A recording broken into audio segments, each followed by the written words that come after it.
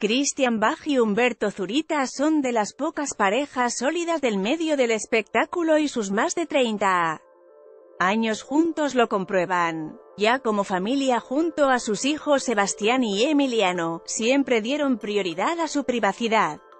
Y la noticia de la muerte de la actriz argentina lo confirma. Hasta el último momento guardaron detalles sobre la precaria salud de la protagonista de la inolvidable Bodas de Odio y aunque ya había fallecido el pasado 26 de febrero, fue hasta el primer minuto de marzo que lo dieron a conocer. Siempre fue su voluntad guardar los asuntos personales y familiares en intimidad absoluta para así poder llevar una vida normal paralela a su profesión, así lo subraya.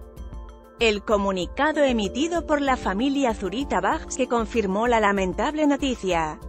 Asimismo, expresaron que la recordarán como la gran madre y esposa que era, quien llenó la vida de su familia de amor, valentía, coraje y grandes deseos de vivir plenamente. Sebastián y Emiliano Zurita Bach ocasionalmente en sus redes sociales dejan entrever cómo es su vida en familia.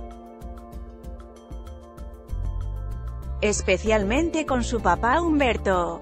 Además, han seguido los pasos profesionales de sus padres y su pasión por la actuación. Hasta los ha llevado a trabajar juntos, de hecho en la última telenovela de Christian Bach actuó junto con su hijo Sebastián. Por su parte, Humberto Zurita siempre ha demostrado el amor, cariño y admiración a la que fue su pareja de toda la vida.